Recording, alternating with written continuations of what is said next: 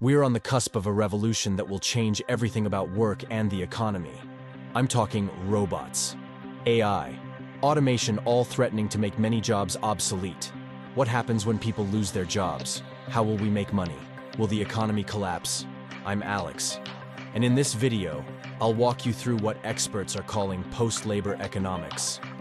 An entirely new economic system for a world where human jobs are increasingly automated this isn't science fiction anymore. The technological writing is clearly spray painted on the wall. So, buckle up.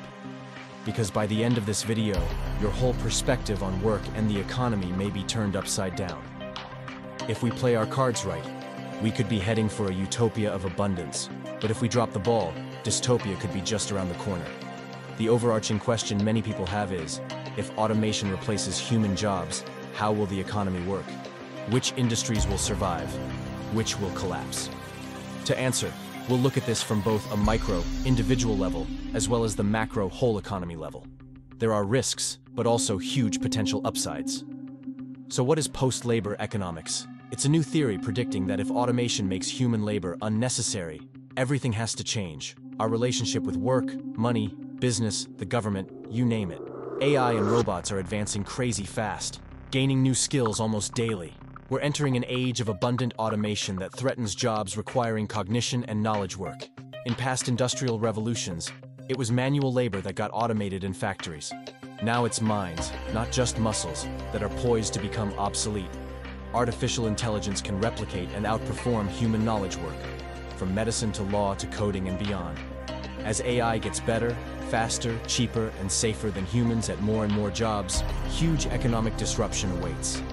This video explores what a post-labor economy might realistically look like. The benefits, the risks, predictions on surviving industries, even ideas for a whole new social contract. First, let's look at some of the good things AI automated abundance could bring. Productivity, surge.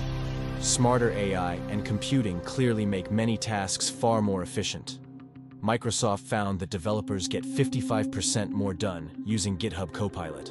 And that's just the beginning. Some experts predict entire industries could see productivity jump over 1,000%. Scientific Acceleration AI is already turbocharging scientific research. Tools can read, summarize, and draft manuscripts in seconds, allowing scientists to achieve in hours what once took months. AI breakthroughs like DeepMind's AlphaFold have lit a fire under drug discovery and medical research. Creativity Explosion Creative Industries are next on automation's dinner plate.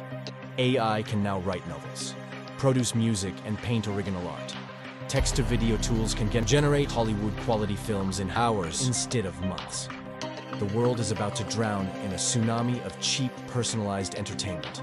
Scalability. Unlike humans, AI models can scale infinitely, one great nurse robot could be cloned 2 million times to provide affordable global healthcare. Content creation AIs create an unlimited fire hose of music, videos, and articles to satisfy any niche. These upsides highlight why businesses are racing towards AI systems to drive efficiency. But every silver lining has a cloud. As we'll see, unchecked AI job losses could wreak havoc. Regulation is critical. What about the major downsides and economic threats posed by automation job losses? Price collapse. First, as AI gets faster and cheaper than humans at tasks, expect crazy price deflation in affected industries. For example, an AI graphic designer made all the graphics in this video for cents and seconds. Same for AI music composers. The cost to produce an album drops from thousands to pocket change. Reduced demand. If half the population loses jobs and paychecks overnight, aggregate consumer demand falls off a cliff. Millions with no income mean people buy far less stuff. Bad news for businesses if fewer can afford what they're selling. It's a vicious cycle where job loss leads to reduced spending, which then disincentivizes production. The engine of the economy could seize up. Plus, primary needs will change. Food, water, and shelter will still be in demand. But what about industries like insurance, finance, entertainment? Total panic if 80% of your revenue disappears because consumers can't or won't buy what you're selling. So things could get ugly. However, Many economists theorize that, from chaos, a new and better economic paradigm may emerge. For example, localized on-demand production could replace today's globalized supply chains. Picture neighborhood nanofactories that use AI designs to 3D print products as needed, instead of massive overseas manufacturing. There's also a concept called industry narrowing, entire sectors that become irrelevant in a post-labor world like horse-drawn buggies after cars made personal transportation way easier.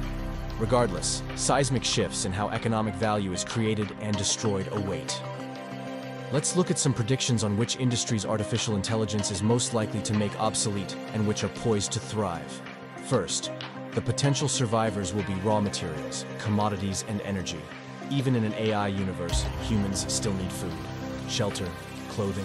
Demand persists for timber, textiles, metals, building materials.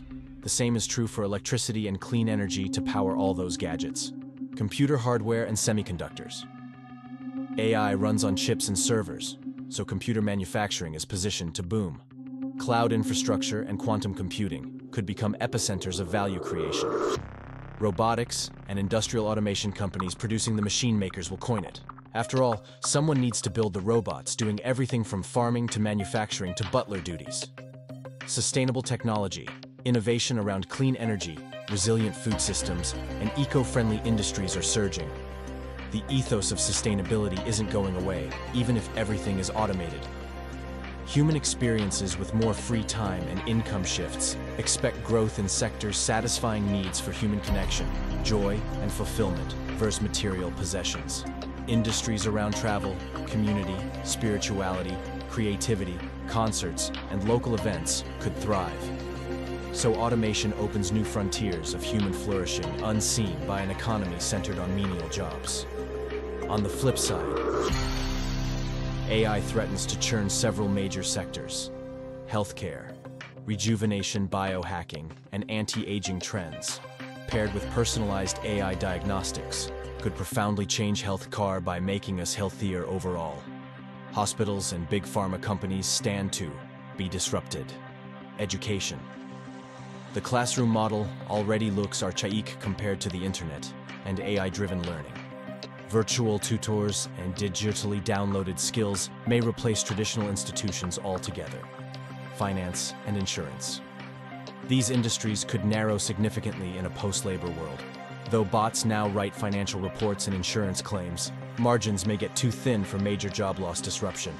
Digital entertainment, Ironically, the very tech companies rushing to develop creative AIs could dig their own graves. Once interactive AI content surpasses human artistry, many current entertainment brands will crater. The common theme across threatened sectors is they interface directly with individual consumers. If unemployed consumers retreat from the economy, these industries falter. But a handful of monopolies owning the means of production presents society with an even bigger problem. Which brings us to how can we restructure the economy to work for people instead of against them in a post-labor age? First, we must rebalance power. Government and citizens should be priorities, not merely maximizing technological productivity and corporate profits above all else. The current social contract between people, government, and business is strained. We need to shore up civil institutions and democratic processes to give citizens more voice in policymaking so their welfare is accounted for. Next, we need to mitigate the reduced consumer demand risk and wealth inequality. Some sort of ongoing stimulus, whether universal basic income, UBI, or universal basic services, ensures populations have money flowing to cover basic needs, which keeps economic circulation humming. Call it compensation for the automation dividend, the windfall profits AI generates while leaving many unemployed. This honors the reality that algorithms running the show don't fully replace human innovation and labor. The gains cannot be hoarded to a billionaire technocracy. Finally, we need to get over wealth and privilege, being society's highest marker of status. That ethos drives short-term decisions, undermining sustainable, equitable growth. There are many paths to meaning that technology makes more accessible. Creativity, spirituality, service, mastery, or family. Recalibrate the social contract to one focused on guaranteeing fundamental dignity and maximizing human development. Make room for people's higher purpose to emerge as the ubiquity of robot labor gives us all a chance to self-actualize. Rather than resist change, adapt social supports around the low-hanging fruit of this automation abundance. The post-labor economy sets the stage for a Star Trek-esque utopia, where technology sets humans free rather than imprisons them. We have power to make it so if we update policy with that prosperous human-centered vision. I'm Alex. Hopefully, this video has opened your mind to the epic economic shift already in motion that will define the century. Harness the revolution or be destroyed by it. The choice is ours. Let me know your thoughts and predictions for surviving a post-labor planet. Drop a comment to keep the discussion going on building an automation-abundant world, optimized for human thriving.